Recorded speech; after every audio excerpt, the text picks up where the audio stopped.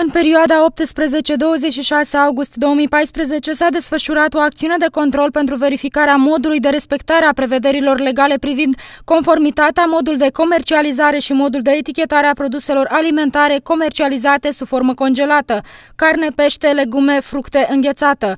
S-a efectuat un număr total de 30 de acțiuni de control în unități de comercializare și depozite angro din mediul urban și rural, constatându-se abateri de la legislația privind protecția consumatorilor la 29 de operatori economici din cei verificați. Identificarea unui operator economic la care era expusă la comercializare carne proaspătă congelată cu data durabilității minimale depășită de 25 de zile.